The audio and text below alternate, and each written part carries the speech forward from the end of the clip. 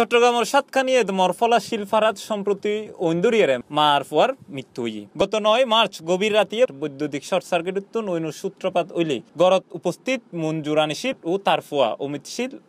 ফুরি মারা যায়। অগ্নিদগ্ধ চট্টগ্রাম মেডিকেল কলেজের চিকিৎসাধীন আছে, একই পরিবারের মাইফা পূর্ণিমাশীল আজ রবিবার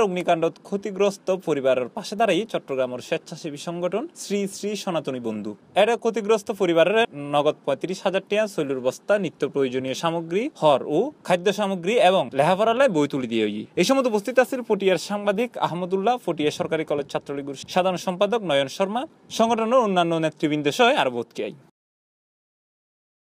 Dex News C Plus TV.